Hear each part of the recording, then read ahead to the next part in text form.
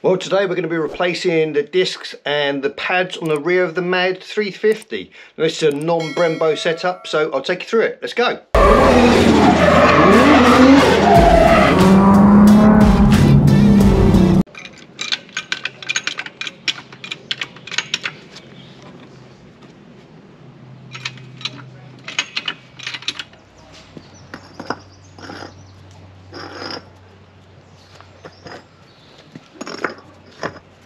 Don't have my chocks, but I do have a couple of bricks. That catch it on the curb. Put the wheel down. Yes, we've got to take the whole caliper off. We have two 19s back here, so we're just gonna break the seals on them and take these off. Now this will get the caliper out of the way. So obviously we need to push the piston back. Putting all the bolts in a safe place as always. Sometimes it can be a bit awkward to reach these bottom bolts. I don't know if I'm going to need a, a bar in here or whether I can no I'm going to need a bar. Okay so I have gone and got two 19 mil spanners. Think why two? Why two? Because when you put this on if you can't get enough leverage that's what this does. You put this together. If you can't get enough leverage you put it on put that on there and look it locks in and you've got an extra bar. So let's give this a go. So like I said it's this one down here and the spanner does go on it quite nicely. And look I didn't need the extra bar it just undone. So that's really useful. So we should be able to get this caliper out of the way and get this disc off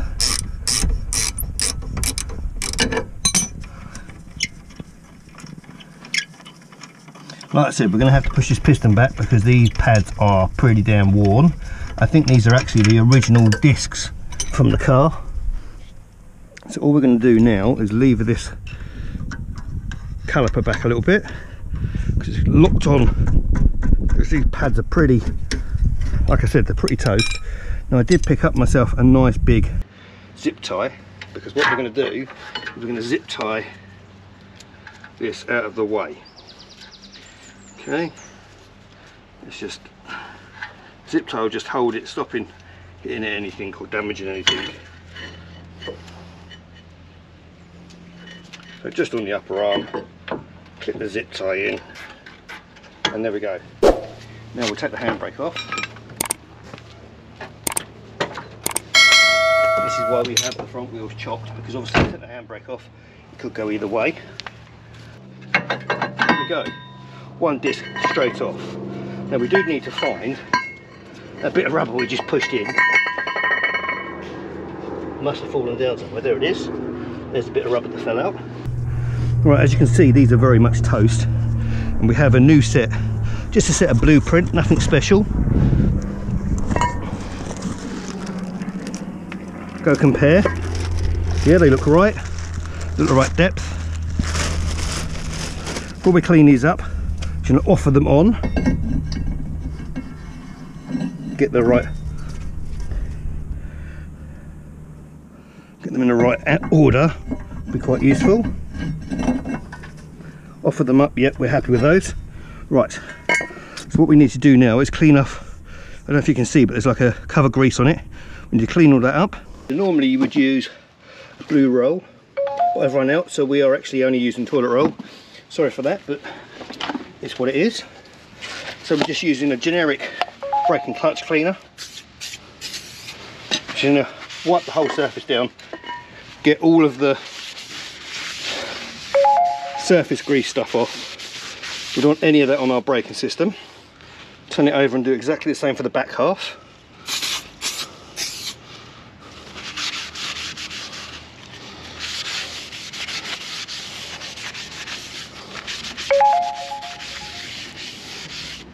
Okay, we're going to do the inside as well because this has got an inboard handbrake. We're going to clean the inside as well. And there we go. Now, it's ready to go back on the hub. So we're just going to slide her back on the hub.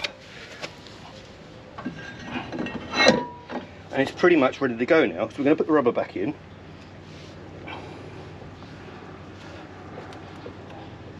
There's our rubber back in. That just keeps it watertight so it doesn't affect the handbrake. Now we've got this back on, I think what we might do is we might bolt this spacer back on just because then it's held in place for when we put the caliper back on.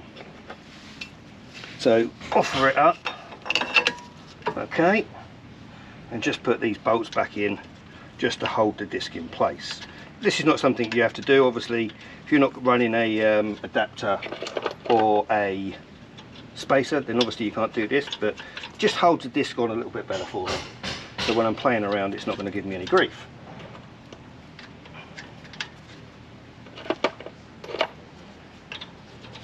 and it's one less thing to do in about five minutes time. About five minutes but you know what I'm saying. So what I'm going to show you how to do this now. Okay so what you do is you put the breaker bar in okay because that's going to push down on the floor in a minute. Now we're going to put the breaker bar on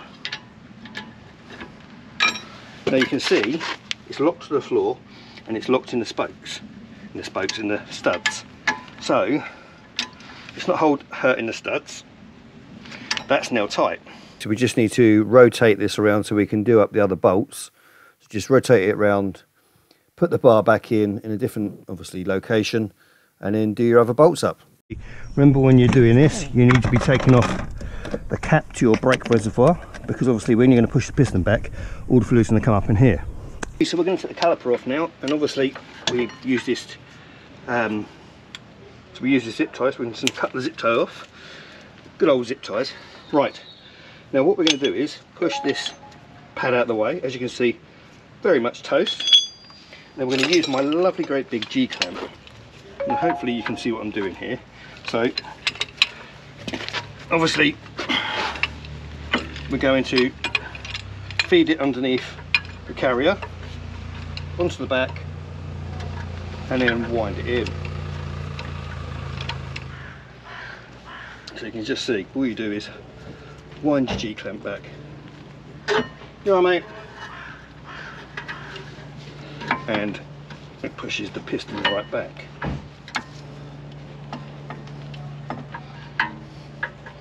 Obviously making sure you're not damaging anything on the way through. This way new pads are going to go straight in without problem.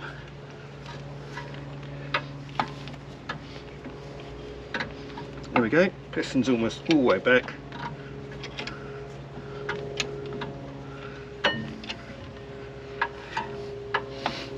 So I don't know, I've been wiggling around a lot, so you can see what I've done is I fed underneath the carrier and just pushed it right back there. So like I said, we've got a set of Mintex pads. And we also got some copper grease. A little bit of copper grease onto the back of the pad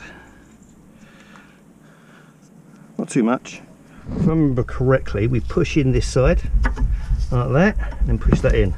Now push that right home to the piston. Okay, and another pad. Okay, so now we've pushed the slide pins back. We can again slide the pad in. Like I said, this is nothing. This is no special pad in the back of here. Rear brakes do about 15% of your braking and I still I decided to keep the non uh, Brembo rears as well as you notice there we go and push that one home too so let's put slide pins right back right so we should now be able to slide the caliper in place we need our bolt so I'll top one and line it up now on for our bottom one as well. You should be able to feel the thread. You can move the caliper backwards and forwards and you feel the thread and you should be able to do it up a little bit. So now we just tighten these ones back up.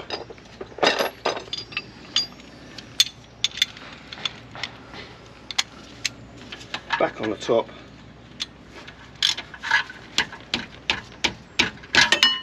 Ooh, slipped off a bit there. That's nice and tight.